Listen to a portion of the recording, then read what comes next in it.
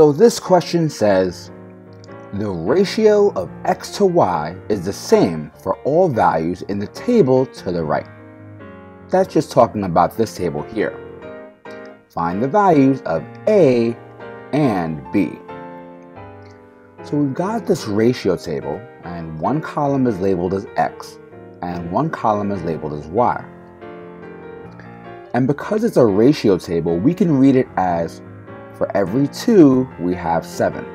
And in this row, we could read it as for every 4, we have 14. It's not like they give you something specific like dollars per hour or miles per hour or dollars per pound, so we just have to use what they have here. Long story short, we have the variable a here and the variable b here, and we're going to have to find what the values of those variables are. When it comes to a question like this, I like to create a small little mini table for each of my missing values. Let me show you what I mean. Let's start by making a table to find the value of a. And after that, if you want, you can pause the video and try to use that as a model to find the value for b. Let's get started. First, I'll make a table. Next, I'll write in a label for each of my columns, and we're going to use the same exact labels that we have in our original table. So the left column will be X, and the right column will be Y. This first row here is for any given ratios that we have. That means we'll have both numbers in that row. So we have two rows that we have both values. We've got 2 to 7 and 4 to 14. I prefer using the ratio that's the smallest. The smaller the numbers are, the easier the math should be. So in x I'll put 2, and in y I'll put 7. In this row here, I'm going to make sure that whatever value I'm missing goes in first. So in the y column, we have a. So I'll write an a in this y column here. Next, I have to write in the x value that's next to the a here. And if we go back to our table, that's going to be the value 8 in the X column. Now that every box in our table is filled, now we can get to work. The best way to find the missing value, if possible, is to look for the column where you have both values. In the X column, I have 2 and 8. So the question is, how can we go from 2 and use multiplication or division to turn it into 8?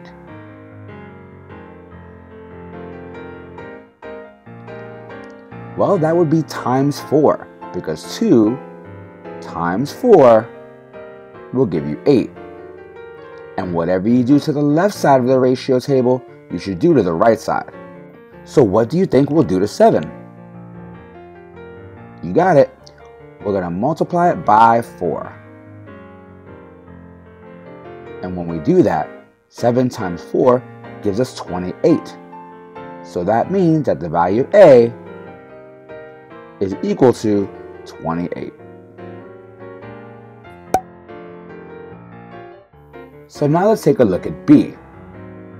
We're trying to find out what the value of B is when our Y value is 70.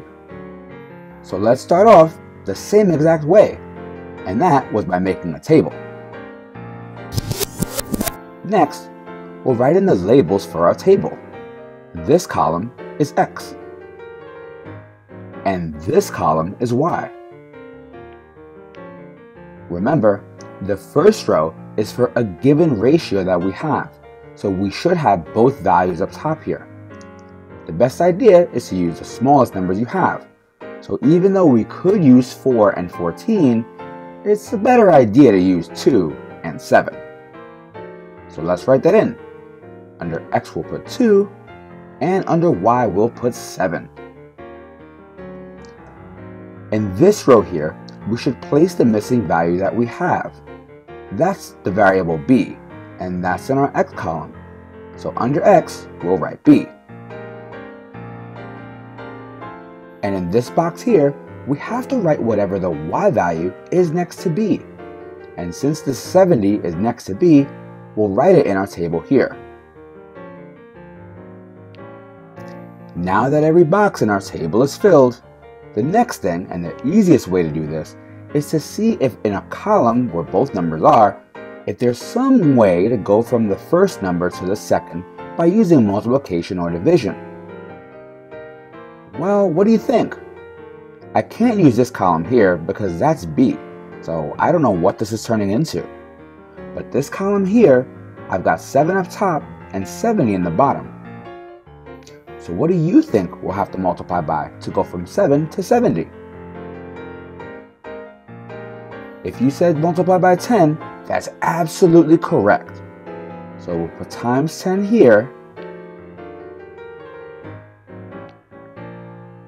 And because it's a ratio table, whatever we do to the right side, we're going to do to the left. So we'll put 2 times 10. And what's 2 times 10? Well, that's 20. So we could say B equals 20. And so we found both of our values.